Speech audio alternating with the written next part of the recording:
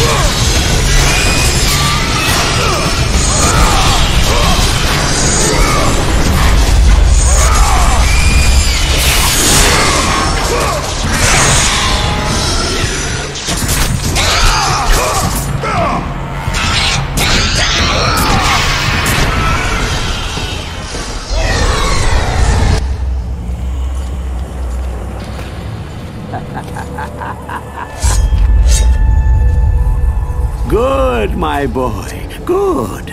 Athena has chosen wisely. I knew it was so. Who are you? So, you have the blades, the skin as pale as the moon. You are the one indeed. Perhaps Athens will survive at that. but be careful. Don't want you dying before I'm done with this grave. A grave? The middle of a battle? Who will occupy it, old man? You will, my son. Oh, I've got a lot of digging to do indeed. All will be revealed in good time. And when all appears to be lost, Kratos, I will be there to help.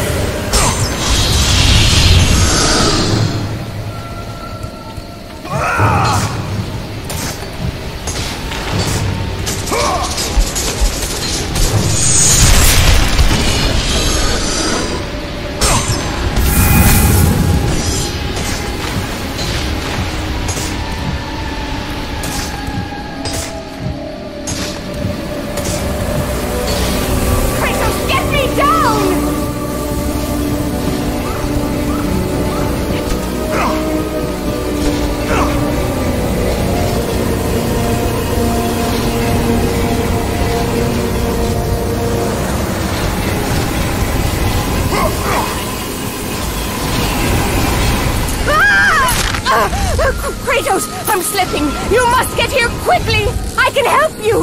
We can save Athens, but you must hurry.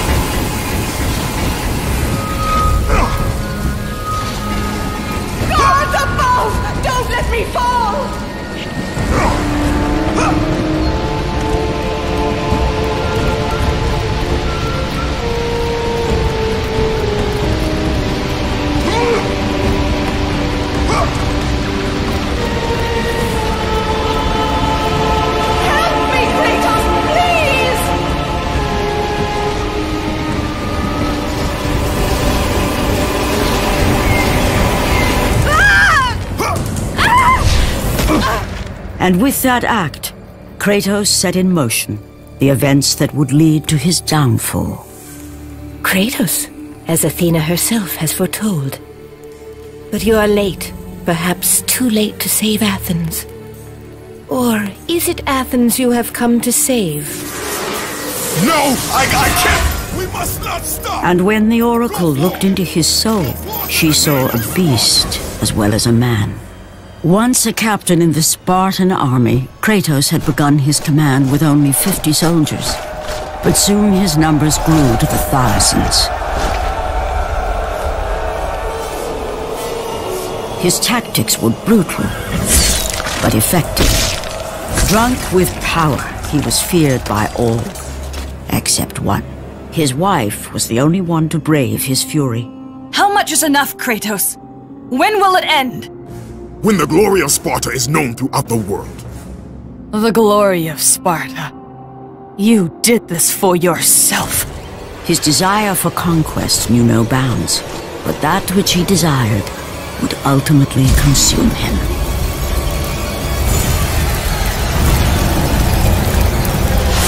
By the gods, why would Athena send one such as you? Stay out of my head! Choose your enemies wisely, Kratos. Your brute strength alone will not be enough to destroy Ares. Only one item in the world will allow you to defeat a god. Pandora's box, which lies far beyond the walls of Athens, hidden by the gods across the desert to the east. But be warned, Kratos. Many have gone in search of Pandora's box. None have returned.